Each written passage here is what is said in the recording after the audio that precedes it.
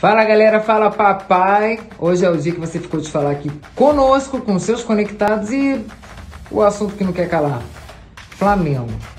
Aonde foi o erro principal ali ou foi um somatório de erros? O somatório de erros foi quando começou o ano.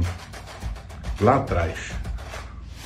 Começou lá atrás naquela troca do Dorival, tomando desculpa que ele ia para a seleção, se ele ia se ele ia aquilo, se ele queria isso, ele dizia não justifica. Porque então, você... já, já para a gente discutir essa questão do Dorival, deixa eu te fazer uma pergunta. Você acha que o problema foi a saída do Dorival ou o Dorival até poderia ter saído, mas contrataram mal?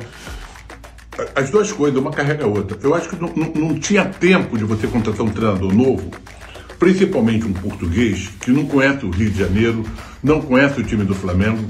Fala por que ele não conhece. Não conhece o time do Flamengo, não conhece o Rio, e saiu numa polêmica muito grande do Corinthians, cara. O Flamengo trouxe um problema, o Flamengo não quis resolver um problema, o Flamengo trouxe um problema. E aí essa é a questão. Quando você cria um problema, principalmente o futebol, eu falei, eu falei lá atrás para nós, quando a gente conversa, eu estou usando essa frase que eu falei assim: o jogador já sabe quem é, porque o jogador se comunica. E esse treinador não era bem quisto do Corinthians, cara. Ele não era bem quisto. Mas o Corinthians assim mesmo ia renovar com ele.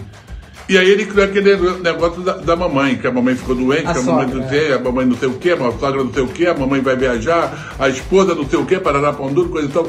Criou uma bronca e fez o que fez. Aquilo está marcado, não sou eu que quis. E o Flamengo fez. O Flamengo está fazendo muita coisa errada e vai estar errado dentro de campo. Primeiro, começou a preparação mal. Segundo, vendeu o jogador no momento que não era para vender.